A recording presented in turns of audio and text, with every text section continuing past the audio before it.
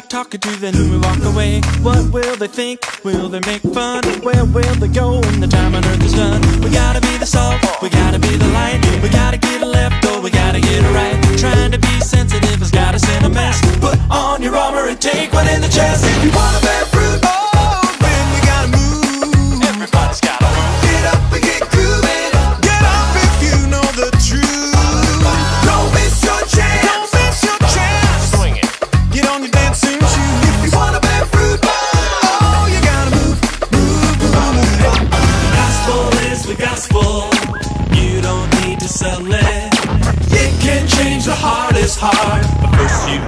you've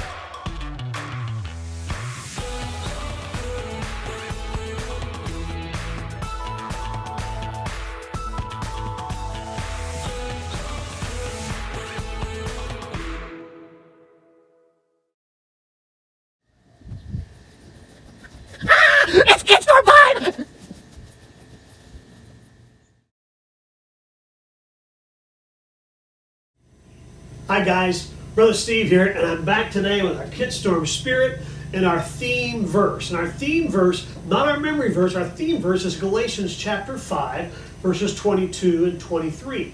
We started working on it the very first day. I want you guys to say it with me today, okay? So on the count of three, let's start with the address. One, two, three. Galatians 5, 22, 23. But the fruit of the Spirit is love, joy, peace, long suffering, gentleness, goodness, faith, meekness, temperance. Against such there is no law.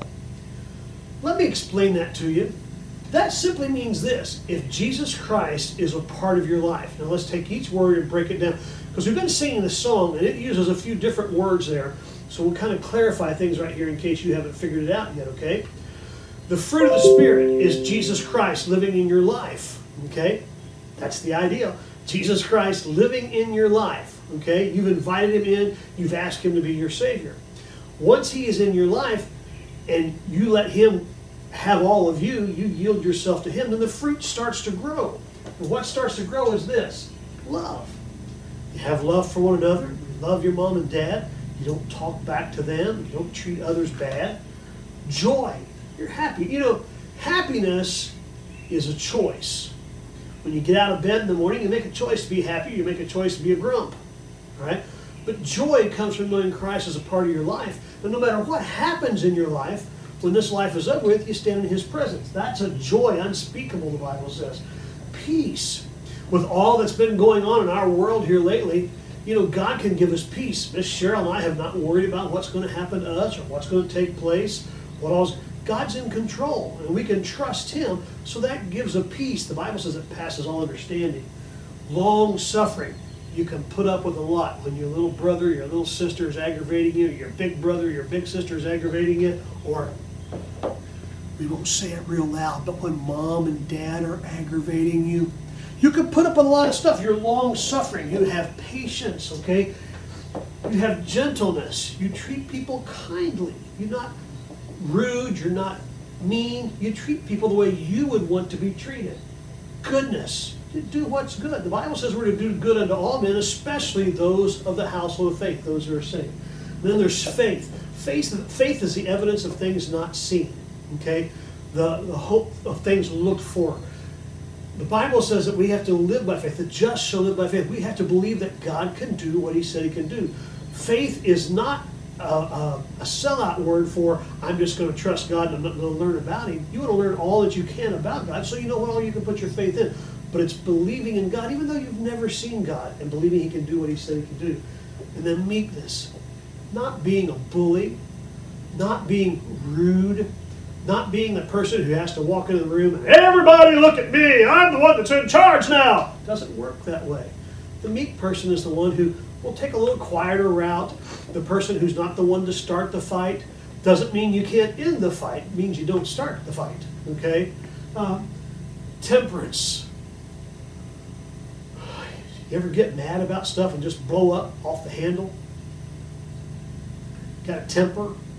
The Bible says we shouldn't be that way. And to be temperate means we can keep that. You, you can't help it if your personality is one that's that way. We find Peter in the Bible was that way. But you have control of that. That's the fruit of the Spirit. Brother Steve is a redhead. Brother Steve can get a little hot headed at times. But God has given me control over that. Very few people in this life, and I'm 61 years old, have ever, ever, ever seen Brother Steve get mad. I've been saved for a long time, and God's given me control over that. Against such there is no law. Those are the fruits of the Spirit, okay? Those are the things that are going to grow, and those are all good things. So there's no law stopping those things. They're good. So let's say it one more time today, okay? Ready? Here we go. One, two, three. Galatians 5, 22 and 23. But the fruit of the Spirit is love, joy, peace, long suffering, gentleness, goodness, faith, meekness, temperance. Against such there is no law.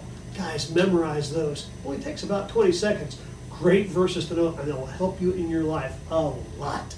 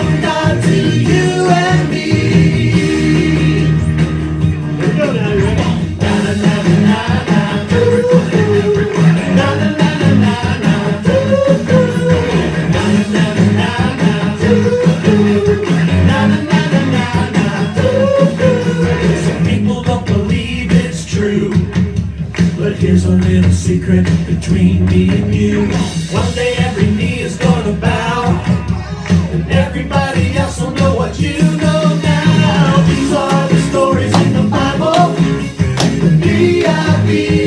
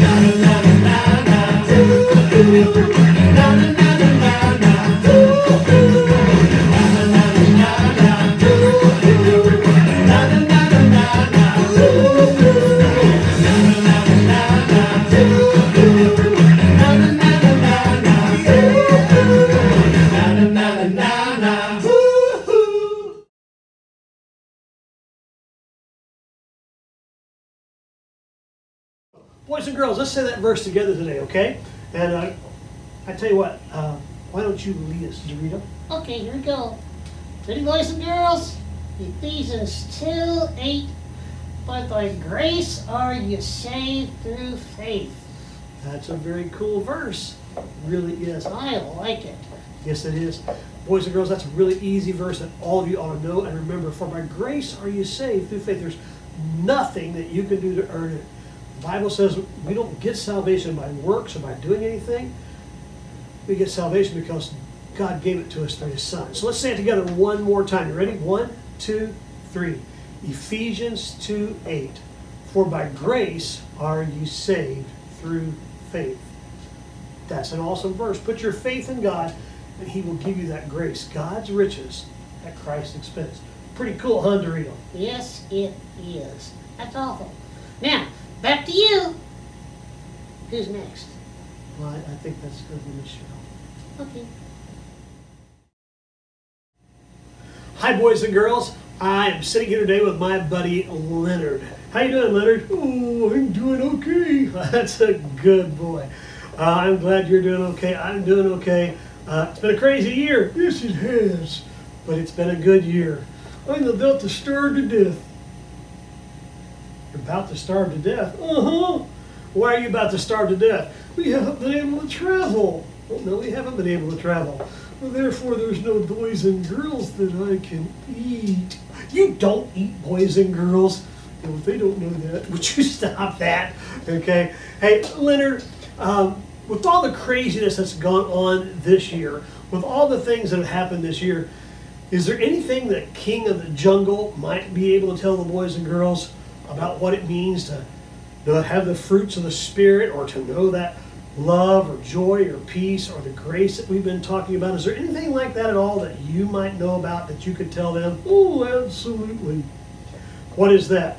Well, I am the king of the jungle. Yes, you are the king of the jungle. But you know what? What? There are other animals that can eat me. There's animals that can eat you? Oh, yeah. I don't turn my back on a hyena. Well, yeah, I, I, anybody who's seen uh, The Lion King would understand that. What? N- never mind. Okay. Uh, any other animals? Oh, yeah. Elephants? They may forget, but they don't forget how to beat up a lion. They're ferocious. Okay, so they're scared of a little mouse, but not you. Apparently not.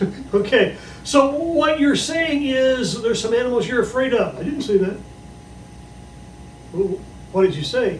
If there's going to be peace, we have to learn to get along.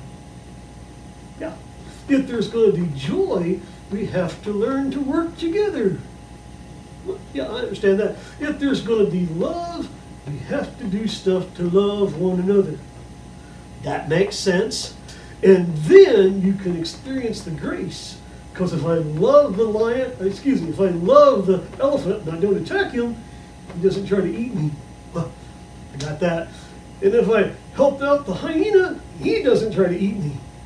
I understand that too. So what you're saying is, with love and joy and peace, we all can experience grace and get along. Uh-huh, we can. Now, there was a little girl named Grace that used to live next door to you. Yes, she got along good with French fries. Would you stop that? You and Dorito are crazy, okay? Leave Grace out of this and let's just leave it alone. And you tell the boys and girls that they should work hard in the fruits of the Spirit and develop that love, that joy, that peace so they can experience the grace. What he said sounded real good to me, and if you'll do that, you will experience it because it's awesome. Roar. Can we go get something to eat now? I'm hungry. Yeah, I guess we can. I don't want grapes. no, we won't get any grapes. Crackers is nuts. Okay. All right, buddy. Let's go get something to eat. All right?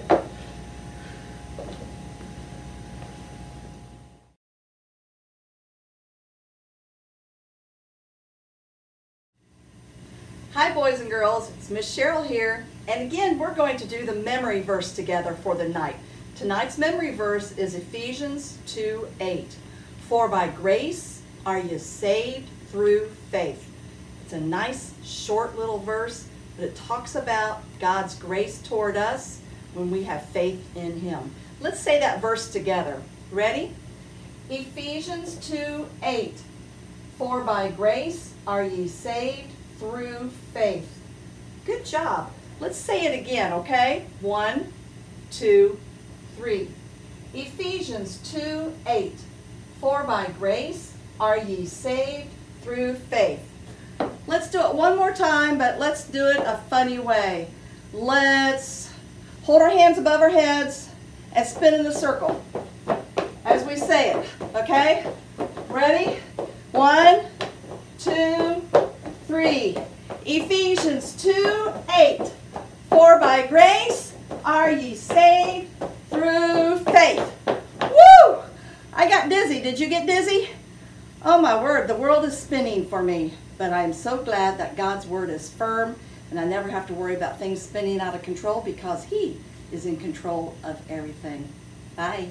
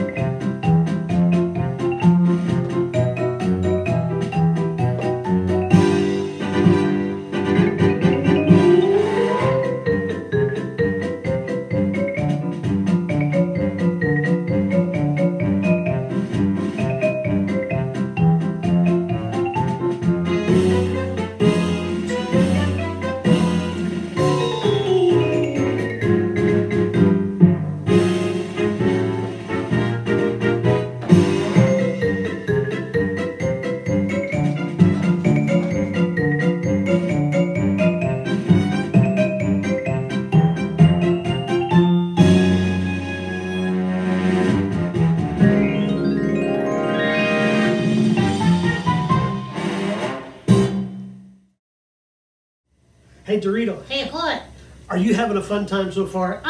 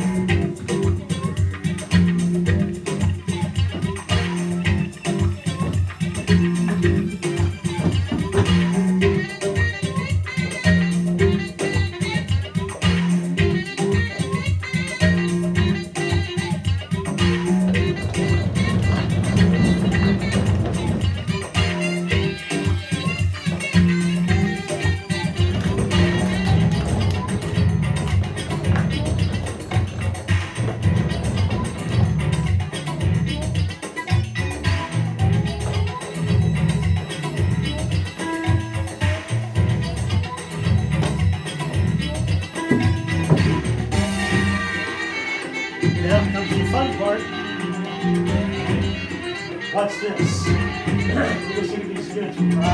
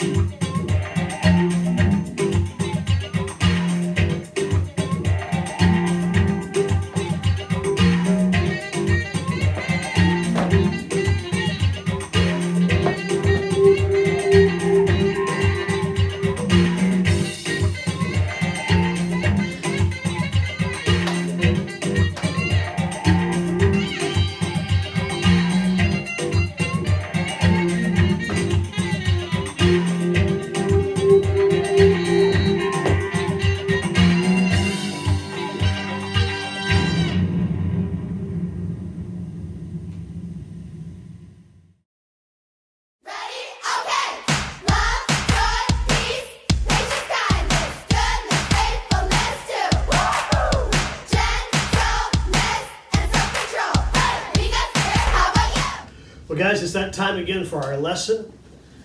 This has gone by so fast. We are down to our very last night, our last lesson of Kidstorm Spirit. And we want to share something with you tonight. Now, we, I hope we've gotten it through to you this week that the fruit of the Spirit, these things that we've talked about love, joy, peace, long suffering, gentleness, goodness, faith, meekness, against such there is no law. These things that we've talked about, I hope you've understood that those only come from the Spirit living inside of you. You must know Jesus as your personal Savior. People don't go to heaven because they just go to church. People don't go to heaven because they live good lives. Good people don't go to heaven. Bad people don't go to hell. Saved people go to heaven. Those who've trusted Jesus Christ as their personal Savior. And that's what today's memory verse and today's lesson is all about. In Ephesians chapter 2 and verse 8, the Bible says, For by grace are you saved through faith. It goes on to say, And that not of yourselves, it is a gift of God. Verse 9 says, Not of works, lest any man should boast. Brief summary there is, For by grace are you saved through faith. Jesus Christ was sent to die on a cross for our sins. God didn't have to save us, we rebelled against Him. He chose to extend grace to us, something we couldn't deserve, couldn't earn, couldn't work for. He chose to give it to us by letting His Son die in our place. And by grace, we talked about that God's riches at Christ's expense. G R A C E, God's riches at Christ's expense. God sent His Son to die on a cross so that you could have the riches of heaven, having done nothing at all other than placing your faith in Him.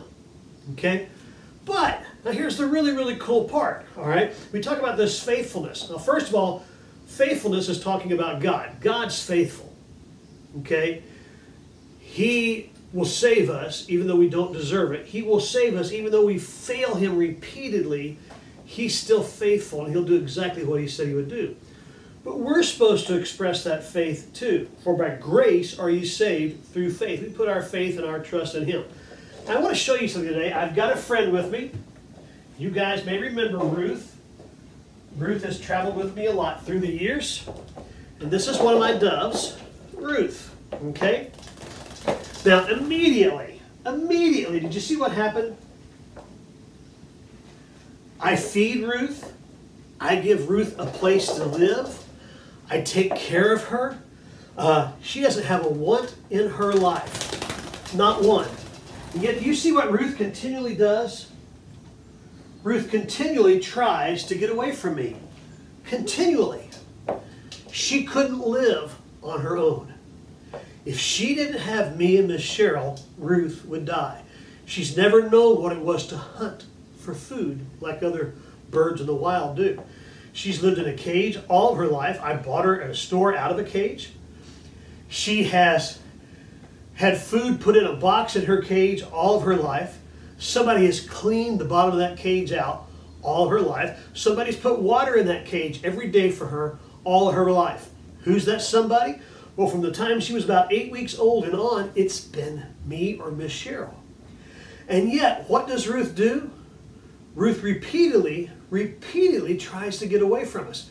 Instead of putting faith in the fact that we're going to take care of her and we're going to watch over her and we're going to protect her, she keeps trying to run away. Instead of resting and going, okay, Brother Stephen, Miss Cheryl can take care of me, why should I bite the hand that feeds me? I should treat them good. I should sit on their finger. I should love them. I ought to give them a kiss every time they come by. I ought to do everything I can to make them happy because they've done everything to keep me alive and help me. But she constantly, constantly keeps trying to get away. Very seldom will you see her exhibit the faith and stick around like she's supposed to. Even with all we've done for her. You know, God's the exact same way with us. He takes care of us. He watches over us. He protects us. He provides for us. He feeds us. He has a plan for our life and steps for us to walk in. And what do we do? We fight against Him. We constantly try to get away. We constantly try running the other direction. We constantly try to do what we want to do instead of accepting through faith what He wants us to do. He wants to give us a home in heaven. He wants to give us joy. He wants us to experience that unconditional love. He wants us to live a life of unconditional love. He wants us to have peace in our life. But we fight against Him continually because instead of placing our faith in Him and trusting Him, we think there has to be something else better that we can run off to, just like Ruth. If we sit here much longer, she's going to try to fly away again because surely there's something better. You've already seen her do it twice. She can't get it through her head that the safest place for her to be is right here with me. And the safest place for you to be is not out doing what you want to do, not living the life that you want, but right in the hand of God, putting your faith in Him. Even though you don't understand it at times, even though it doesn't make sense at times, saying, okay, God, I will trust you. You provide everything for me. I'll put my faith in you. And I will rest here. And here I'll find peace. Here I'll be fed. Here I'm loved unconditionally. There's nothing she has to do to make Miss Cheryl and I love her. Just be who she is, Ruth. Okay? There's nothing you have to do to make God love you. So why do we keep trying to get away? Why do we keep running the opposite direction? Why do we keep thinking life there would be better when we can enjoy the hand of God and the love and the joy and the peace and His faithfulness if we just put our faith and our trust in Him? Man, that's the greatest place to be. And none of the stuff that's going on, none of the pandemic or the virus, none of the riots, none of the craziness of this world bother you because you know you're right in the hand of God, right where He wants you to be. And He's going to take care of you. Put your faith in Him. And if you haven't done that, it's so easy to do. Invite Him into your life. Ask Him to be your Savior, to forgive you of your sins. That, that separates you from God. The lying, the stealing, the cheating, the bad thoughts, the wanting to constantly run away and do it your way and say, okay, God, here I am. I give my life to you. Come into my life and be my Savior. If you would do that, what an awesome joy life would be. If Ruth would just quit fighting Brother Steve and Miss Cheryl, you know, she would learn what, uh, how awesome life really could be. Many years ago, I had to buy a new dove. And I traveled a long distance to get the dove. Picked up the dove, brought it back home. When I got to the house, out beside our garage here is a cage in the summertime that we keep them in. It's a big long cage. They've got plenty of room to move around in there. So when we're home and it's warm, they're inside of there with us. Or inside of there, I mean, not with us, but they're inside of there. So I took this dove out beside the house, opened the cage up, set the dove inside, and when I let go and pulled my hand back out, the dove immediately shot right back out the door before I could even get it closed. I tried hitting it, knocking it down, couldn't. Flew past me and around and into a lower branch of a tree in the front yard. I walked to the front yard, and just as I reached to take a hold of the dove, it flew away from me again, flew way around and to the very top branch, branch of a tree in the backyard. I looked at that dove and I said, you know what? Fine. Go live life on your own. You'll be dead in a couple of days, but I'm not chasing after you anymore. I walked back inside the house. I went down to our basement area. I got some food. I got some water. I came walking back outside, and as I came up the steps in the garage and I turned, there sat that dove on the floor in the middle of the garage, breathing really, really heavy, sucking in air. and when I walked over and set my hand down, it crawled up into my hand. I didn't hold it or anything. I walked back out to the, the cage. It sat right there in my hand. I opened the door and set it inside. It sat down. You know what that dove suddenly realized that day? I totally believe this. I'm going to die out here. This is a dumb move. I need to go back to where I'll be safe and fed. And I want you to know something today. God's the same way with us. If we want to go do it on our own, He'll let us. But you're going to pay the consequences for it. You're going to suffer a lot. Or you can make up your mind I'm going to go back to where God wants me to be. I'm going to do what God wants me to do. I'm going to live for Him and watch Him work in my life. And if you'll come back to Him and give up yourself, say, God, here I am. I'll serve you. You'd be amazed what He'll do in your life. In the presence of His hand, in His presence, there's fullness of joy.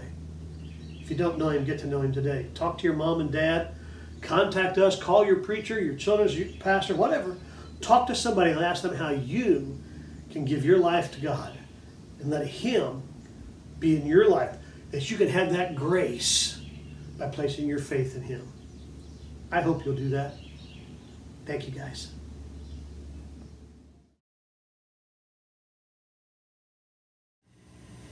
Hi, boys and girls. It's Miss Cheryl here. And again, we're going to do the memory verse together for the night. Tonight's memory verse is Ephesians 2 8. For by grace are you saved through faith.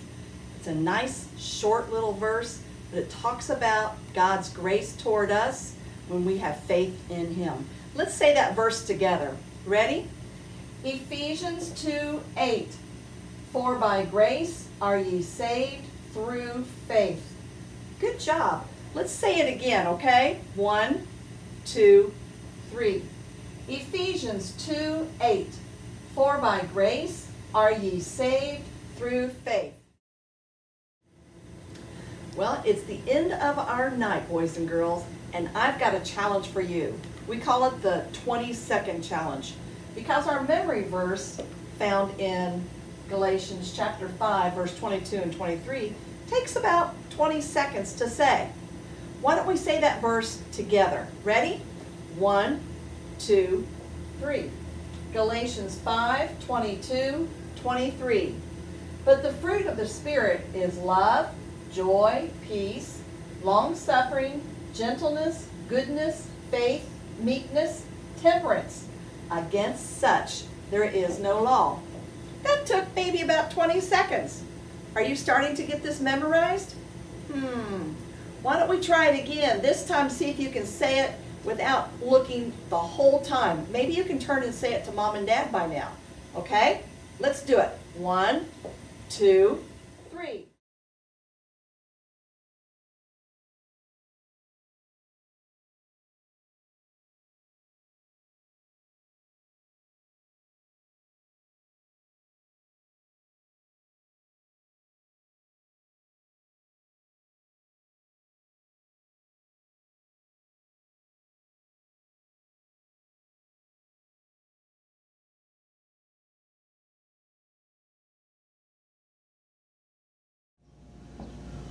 Hi, guys. I hope you all have had a great week. We've had a blast being here with you. And if you get nothing else out of this at all, I hope that you understand that the fruit of the Spirit can only come out of you if the Spirit of God is living in you. If you don't know Jesus Christ as your personal Savior, it's hard to know what love is, or joy is, or peace, or gentleness or faithfulness or meekness or temperance because you don't know the one who supplies that. So if you don't know him, get to know him. Invite him into your life and start to read your Bible. And if you do know him, then start praying and asking God to let you grow in the fruit of the Spirit. Read your Bible, learn what you're supposed to do, memorize God's Word, and watch that love, joy, peace, long suffering, gentleness, goodness, faithfulness, uh, faithfulness, meekness, temperance grow in your life. That's the fruit of the Spirit, and against such there is no law. Guys, I hope you have, a, have had a great time. Miss Cheryl and I have had a wonderful time, and we look forward to seeing you at your church the next time we're there, okay? Bye bye. Have a great summer.